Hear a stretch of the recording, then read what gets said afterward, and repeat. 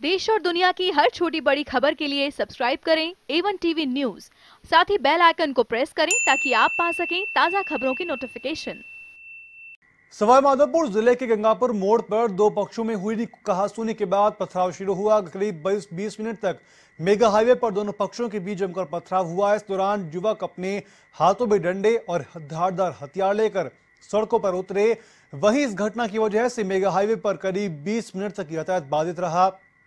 सूचना मिलने पर मरना डूंगर थाना अधिकारी ब्रिजेंद्र सिंह मई जाप्ते मौके पर पहुँचे, लेकिन पुलिस को देख युवक मौके से फरार हो गई।